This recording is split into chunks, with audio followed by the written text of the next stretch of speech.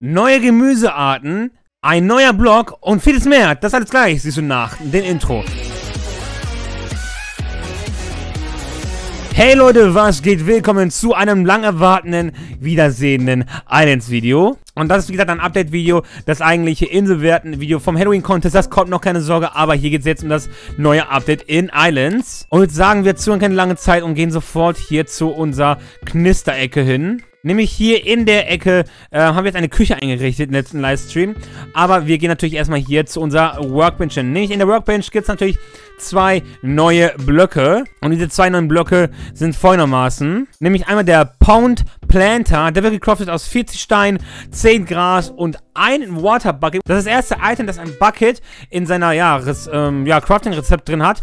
Und dazu haben wir bei Workbenches, haben wir hier noch eine neue Workbench, die ist auch sehr ja, sag mal, billig, weil wir sehen ja schon, das ist ja so grau eingezeichnet hier, weil die kostet eh nur 50 Pinewood und 50 Holz und ist nämlich der Cutting Table. Und diese zwei Items sind die neuen Items, die wir jetzt hier so zubekommen haben. Plus natürlich noch, was ich gesagt habe, bisschen Gemüse am Start. Aber ich zeige euch mal hier, was eigentlich abgeht. Nämlich, Leute, es ist soweit. Endlich hat Essen und Kochen einen Sinn in Islands. Davor war es mehr so ein, naja, okay, brauchen wir nicht. Wo das Update rauskam, ich gedacht so, hm, okay, naja, brauchen wir nicht. Aber Leute, doch, wir brauchen es eventuell. Nämlich jetzt sehen wir hier, hier hat sich vieles geändert. Auf den ersten Hinblick sieht jetzt nicht zu krass viel aus, aber als, das fällt auf jeden Fall auf. Die Pizza. Die Pizza sieht wesentlich anders aus.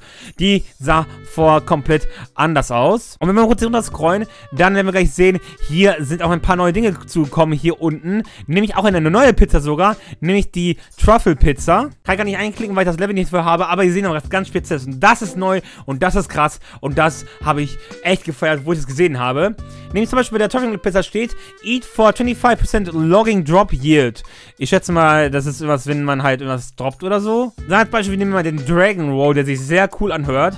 Da brauchen wir Eat for 25% Reward Luck in Combat. Das heißt, als Beispiel, Leute, mit diesem Dragon Roll, wenn wir das rein logischerweise konsumieren würden, könnten wir eine höhere Chance bekommen von 25% auf einen Mob-Drop. Das heißt, wir könnten wesentlich einfacher von den Bossen die Steine bekommen, die wir brauchen fürs Underworld Portal. Ist das nicht krass, Leute? Eat for 25 Three Feuds Harvest. Das heißt, das gleiche. Also jedes Item hat, wie gesagt, seine eigene Sache. Und das ist auch in eine Philadelphia-Rolle, also eine Philadelphia-Rolle, auch was mit Sushi zu tun. Wie seht ihr ja schon, alles, es dreht sich alles um Sushi. Ne? Es dreht sich alles um Fisch, Sushi, das große Fressen. Und hier bekommen wir wesentlich mehr Anteil an der Ernte, wenn wir Bäume pflücken und das dabei davor noch konsumiert haben. Meiner Meinung nach, glaube ich, was das einfachste ist, was man hier bekommen kann, ist auf jeden Fall als erstes die Tomatensuppe.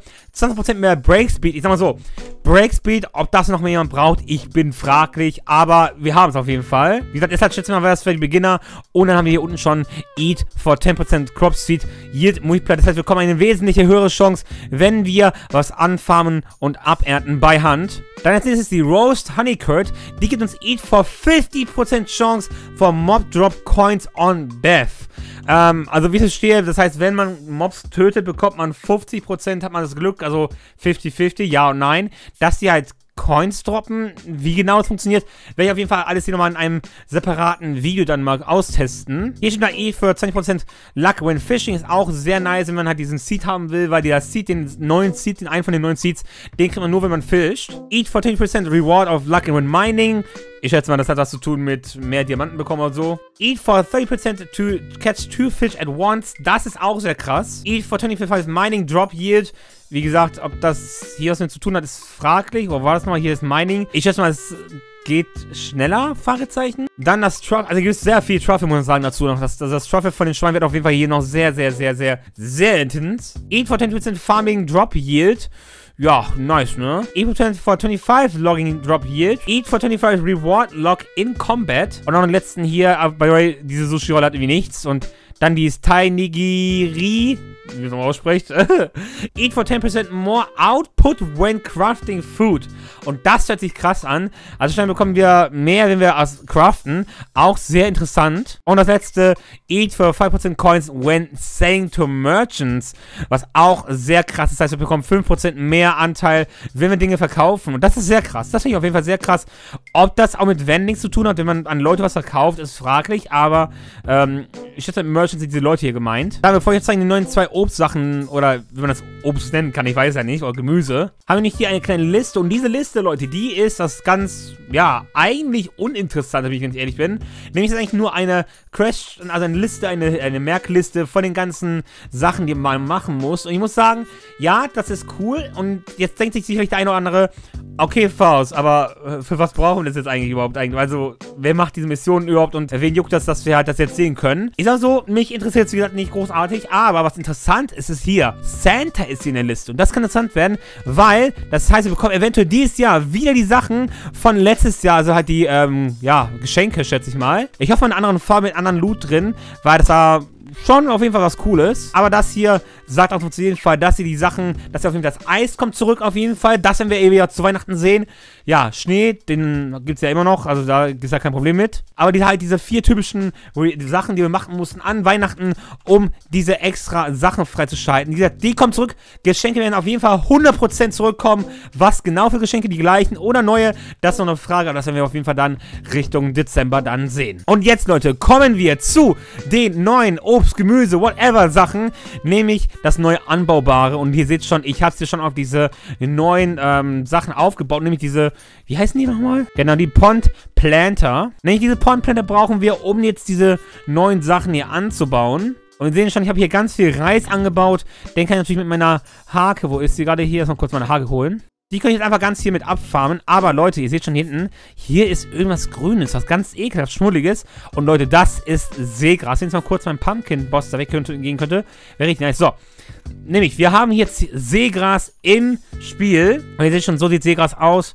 Ja, ich sag mal so, nichts Spezielles. Und das ist Citron-Seegras, sehr dunkelgrün, würde ich mal sagen, ist das. Und wir können nur hier anpflanzen. Ihr seht schon, da habe ich es angepflanzt. Und so sehen die halt aus. Dann haben wir nochmal Reis. Das sieht auch sehr nice aus. So sieht Reis aus.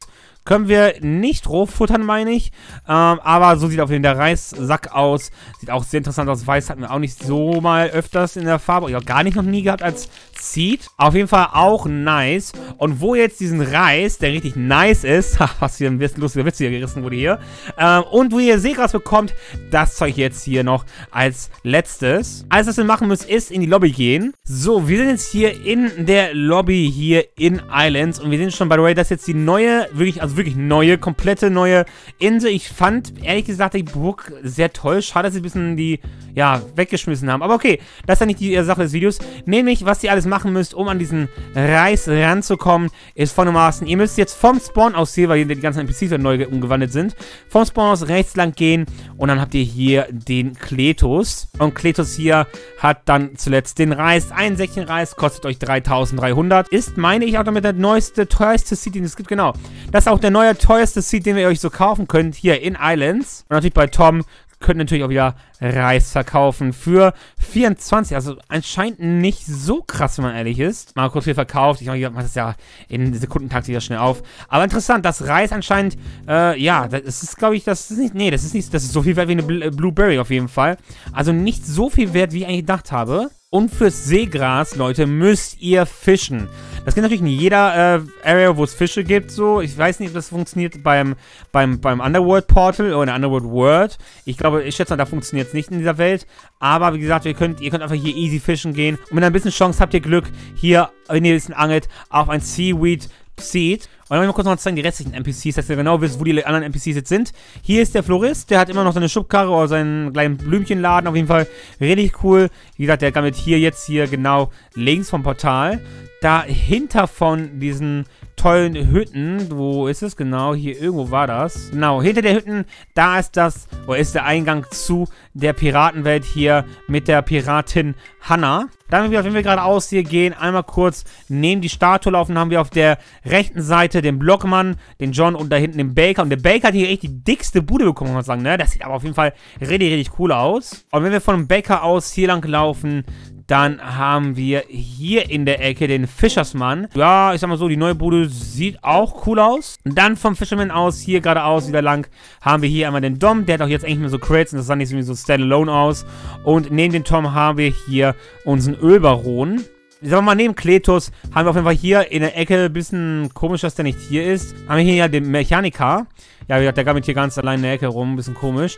Aber dafür haben wir dann hier hinten dann wieder äh, unsere Thalia mit, glaube ich, das sogar, ist die alte, also die ehemalige alte Farm ein bisschen neu gemacht sogar. Wie gesagt, Thalia gammelt hier rum und genau daneben ist dann auch unser magischer Typ mit den Totems, nämlich der Arius. Der gammelt dann seine, äh, ja, Totems dann hier. Und ich kann kurz mal zeigen, wo die ganzen Ohrsachen sind. Wie gesagt, von hier aus wieder gerade auslaufen. Dann haben wir nochmal hier die Ohrabteilungen. Wir sehen hier, hier spawnt Kohle und hier spawnt auch Stein. Ich meine, also entweder denke ich das noch, weil ich Islands nicht mehr so lange gespielt habe, aber Kohle sieht anders aus, irgendwie das Gefühl. Hm. Und weiter hier hoch ist natürlich noch mehr Kohle, Stein und die ganzen Standard-Ohrs. Und hier ist eine Höhle. Wollen wir gerade sagen. Hier ist eine Höhle. So, wenn wir aus der Hülle rausgehen, dann können wir hier zum ehemaligen Boss-Area-Fight gehen. Der ist, wie gesagt, hier oben gewesen. Hier ist, glaube ich, nichts Spezielles, außer... Na, nicht der Schnee, okay. Also der Schneehaufen, der, den ich gezeigt habe letztes Mal, der ist, der ist immer noch relevant. Der ist da hinten. Aber hier ist absolut gar nichts. Außer diese kleine Mulde-Höhle, wie man es auch mal nehmen will. Und unter der Insel ist auch nichts. Hier ist auch noch ein Easter Egg, sehe ich gerade. Wenn man hier vom Spawn aus lang geht, hier ganz links, hier ist eine coole Höhle. Gucken wir mal kurz, wo es hier lang geht. Vielleicht finden wir dann irgendwann ein Easter Egg hier. Auf jeden Fall hier ist nicht. Also natürlich kann auch die Höhle schon längst existieren, aber ich habe sie jetzt gerade auch gefunden. Deswegen einmal kurz zeigen. Okay, hier ist auch nichts. Also hier ist ein namenloses Loch. Und ähm, da unten ist dann halt ein bisschen Terrain. Ich muss auf jeden Fall sagen, die Map ist auf jeden Fall wesentlich wilder, muss ich sagen. Ah, hier ist das kleine Portal. Ähm, wesentlich wilder und wesentlich, ja, belebter, muss man sagen, dazu, gegenüber der alten Karte. Aber ich fand die Burg eigentlich ganz toll. Deswegen bin ich ein bisschen schade und traurig darüber, dass sie die rausgenommen haben, weil ich fand, die hätte eigentlich noch hier gut gepasst, wenn man so mal gucken würde. Also die wäre eigentlich hier auch gut noch aufgehoben. By the way, hier wieder noch der Schneehaufen. Und ja, wieder, das war schon, wie gesagt, alle neuen Positionen von der Insel. Wie gesagt, wenn ihr noch coole Easter Eggs äh, kennt, schreibt es in die Kommentare, wie mir mal echt brennend interessieren. Und ich würde sagen, dann war es das auch schon, wie gesagt, mit diesem kleinen Update-Video. Natürlich kann ich auch andere Sachen hier diskutieren, zum Beispiel diese Bugzeit, dass wir aus irgendwelchen Gründen unsere Pets nicht mehr auswählen können hier. Und noch vieles weiteres mehr, aber wie gesagt, das ist ja eigentlich unnötig. Aber ich würde sagen, ich würde sagen, wenn euch das Video gefallen hat, dann lasst mal einen Daumen nach oben da. Wenn ihr richtige Ehrenmänner seid oder auch Ehrenfrauen, dann lasst mal ein Abo auf diesem Kanal da. Aktiviert die Glocke, dass ihr keine weiteren Videos von Islands oder sonstiges auf meinem Kanal näher verpasst. Und ich würde sagen, bis zum nächsten Mal. Haut rein, Leute. Und ciao.